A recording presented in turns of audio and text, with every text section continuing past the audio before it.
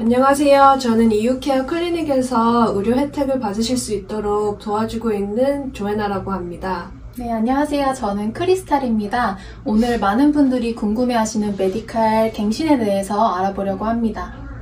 네, 그럼 하나씩 알아볼까요? 어, 우선 메디칼은 언제쯤 갱신해야 되는 건가요? 메디칼은 매년 갱신을 하셔야 하는데요. 갱신하셔야 하는 시기는 각각 달라요. 만약에 2023년 1월 달에 메디칼을 신청하셨으면 2024년 1월에 갱신을 하시면 됩니다. 갱신하실 시기가 되면은 우편으로 안내 편지와 갱신 서류를 함께 받아보실 거예요. 보통 갱신하셔야 하는 달로부터 한두 달 전에 우편으로 옵니다. 네, 그럼 갱신 패키지를 못 받았던 분들도 많던데요.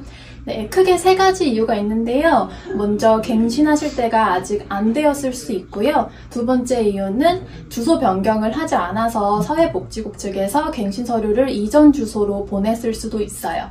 만약 3년 동안 주소 연락처 아니면 이메일 주소의 변경이 생겼는데 사회복지국으로 보고하지 않으셨다면 사회복지국에 꼭 변경 보고하셔야 되고요. 만약에 갱신하실 때가 되었는데 갱신 서류를 받지 못했거나 언제 갱신을 해야 하는지 모르는 경우에도 사회복지국으로 연락하셔서 문의해 보셔야 합니다. 그리고 마지막으로는 자동으로 갱신이 되었을 수도 있어요. 특히 SSI를 받고 계신 분들은 자동으로 갱신이 됩니다. 아, 네, 그러면 메디칼 갱신, 어, 마감 날짜를 놓쳤으면 어떻게 되죠? 네, 메디칼이 끊기게 됩니다. 본인의 메디칼뿐만 아니라 가족분들의 메디칼도 끊어지게 될 거예요.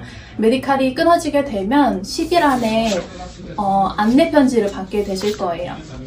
하지만 아직 되살릴 수 있는 기회가 있어요.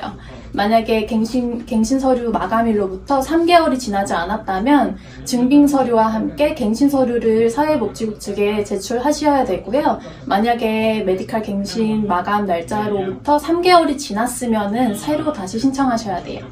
음, 그럼 메디칼 수혜 자격이 안 된다고 하면 어떻게 되죠? 만약 수혜 자격이 안 되시는 경우에는 Covered California로 건강보험을 신청하실 수 있어요. 그 또한 안내 편지를 Covered California 측에서 받아보실 수 있으실 거예요. 아, 그렇군요. 잘 알겠습니다. 오늘 말씀 감사합니다. 네, 더 궁금하신 점이 있으시면은 저희 환자 지원 서비스 부서 PRD로 방문해 주시거나 연락해 주시면 도와드리겠습니다. 감사합니다. 감사합니다.